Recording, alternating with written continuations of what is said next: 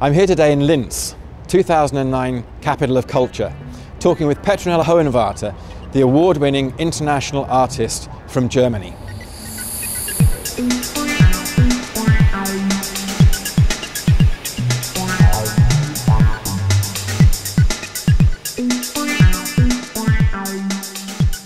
I started close to 12 years ago and uh, I was former social pedagogic uh, teacher.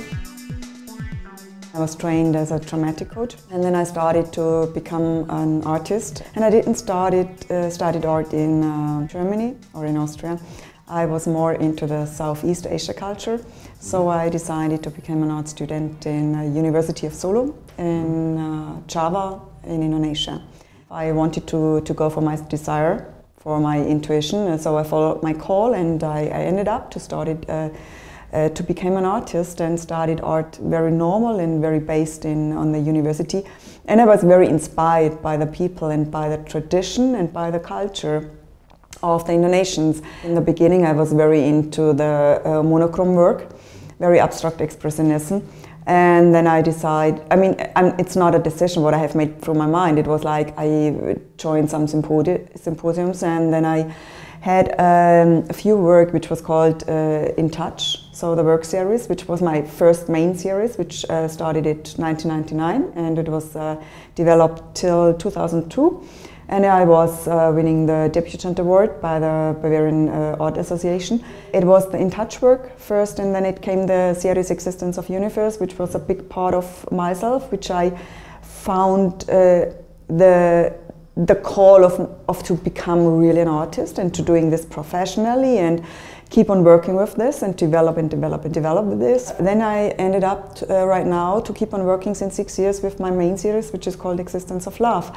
And uh, of course, you can see through all of my work the, the type of, of how I'm using the brushes, how I'm using, using the colors, but it's not like that I'm doing this uh, mainly because I'm trained in this. It's ju I'm just following this, which is coming along in every single work, what I'm doing it's like a work by itself, but it's also in a combination of a bigger um, story and a bigger background be uh, beyond.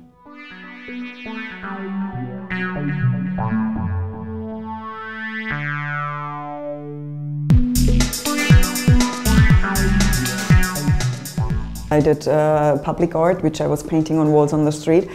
Um, but then I was uh, uh searching for used material I mean, like what you can see here, some oil cans or, or, stuff which you can find in garbage places or like uh, in every household at home.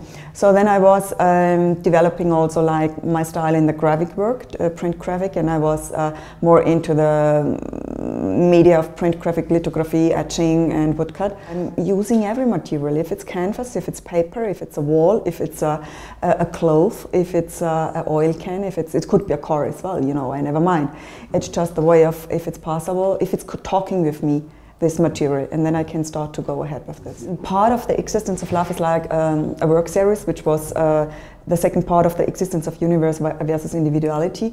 And love is not only for me a word. It's because this word is misused so often and it's like a cliche. So if you see my work which is here beside me it's like a part of my own expression who I am and where I am and what I'm doing. So it's like every single color has a meaning beyond. For me is love an expression of an energy, which is the biggest, highest energy in my life. Because as an artist I see always both sides, which is sometimes you have to go through or you have to accept a lot of things which is beside you, what is going on in, in the uh, world around me.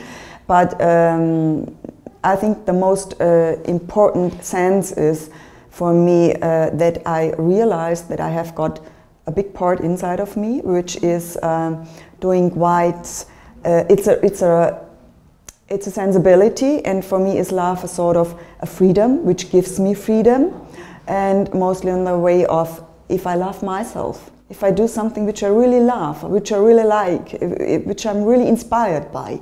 So I put all of this energy, all this, uh, all this creativity into this.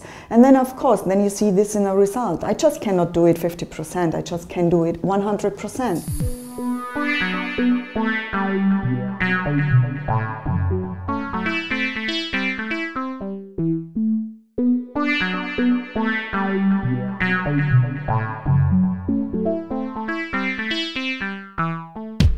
A customer came into my studio and just got in front of a work, which was actually here post behind me. It's the Temple of Revelation.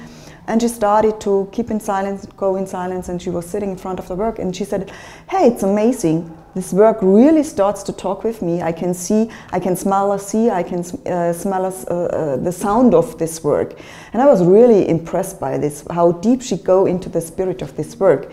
She was quite sitting 20 minutes in front of this work and was totally silent. And afterwards, she told me all of this, what she realized through this work. And that was a big impression for me because that is not very often happened, you know. And of course, in the beginning, it's like always a big expression, which I put on the canvas, for example. And then I kept going, and then I start, and then I go back, come again to the work. And then sometimes it's like that the work don't talk with me. And then I have to, to find rest with this work. And I could continue perhaps a month later or two months later. And then I keep going back again, start with another work.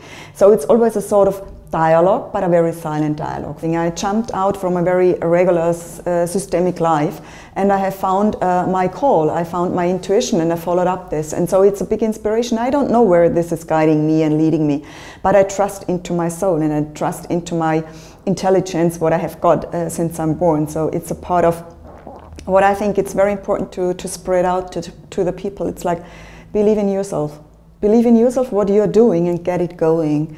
And this is very important. That's the only thing what, is, what matters right now in this life.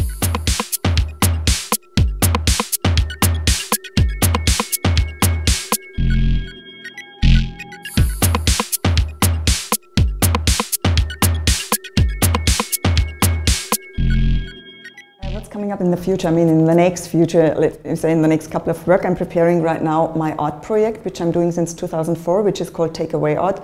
And this is a project which I started in Indonesia, I mean, a couple of years ago, which shows me art is something which has a value inside, but it's also very easily to give away. You give something away with this message. And um, I'm doing this in Vienna, and I'm very happy to, uh, to get presented by Vienna Hub. And uh, Vienna has some, and this project, what I'm doing is for me like um, a collage work. It's like assembla uh, assemblages, it's like chimic work which is um, for me, I can express a voice, a visual voice, voice and also uh, lyrics and, and some, some letters which is written on my work and which is a reflection of the everyday life. And um, I would like to, uh, to give us a message away which uh, shows the people, hey, you can say everything what you want. Uh, just open your uh, eyes and get, uh, get fascinated by, by this, what, what you get in this short moment. And Vienna is um, very great because it's a space for me. Uh, it's a town which you can find so many international vibrations you can get, but so also a lot of national vibrations. And I mean, I'm born in Bavaria, and I think very I'm very similar with the Austrian culture, and I like this flair which is still existing in Vienna. It has something very very unique, very old, very traditional, which is uh, for me very interesting because I frame my work with very old uh, Baroque frames, with old uh, Jugendstil frames, and it's like sh it shows my contemporary work. And then it's a, a unit again, and uh, I like the, oh, the atmosphere which is going ahead in this place where I'm going uh, to show my uh, project.